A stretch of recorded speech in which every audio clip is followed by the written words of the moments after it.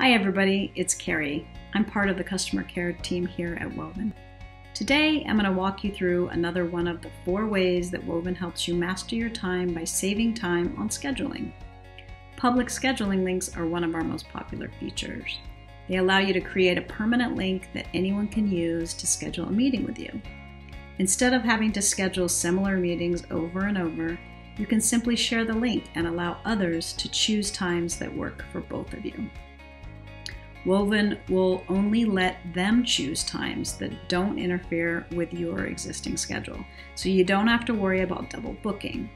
Like one time scheduling links, public scheduling links are typically used to schedule meetings with one other participant.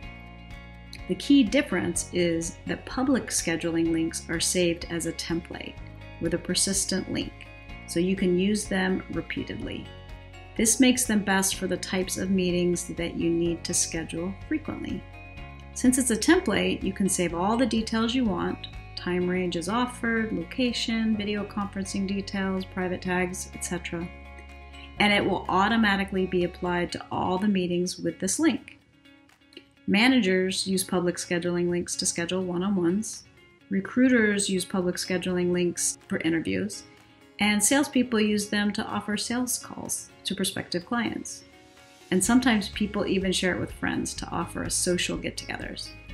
Many people add public scheduling links to their email signature or website to allow people to automatically book time with them. Here's how to create a public scheduling link. In Woven, you're going to find the plus sign. Click on it and then select Public Scheduling Link. Under template name, give the template a name. This is a name as it will appear here in the templates listing. Next, give it an event title. This is a title as it will appear on, as a meeting on your calendar. Advanced users can use smart titles. Smart titles add the name of the participant to the title of the event as it appears on your calendar. Next, you can add the durations of time and range of days. Here you can have a start and end time for these links, the duration, as well as what days of the week you want to allow these this link to work with.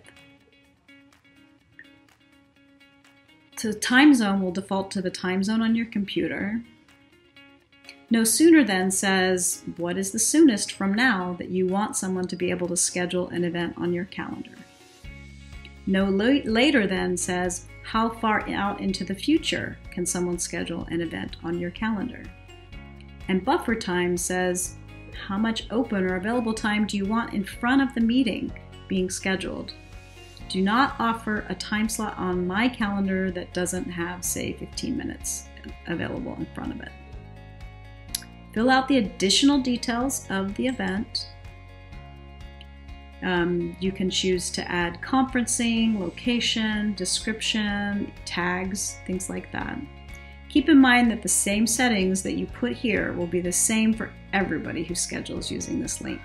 Only the participants and the time they select will change.